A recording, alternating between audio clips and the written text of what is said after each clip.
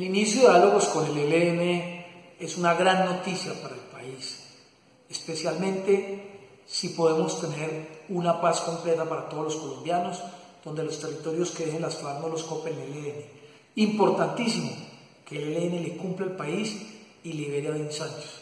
No podemos iniciar estos diálogos sin la liberación de los secuestrados. Hay un compromiso por parte del ELN, esperamos que el ELN cumpla este compromiso de liberar a Ben Sánchez.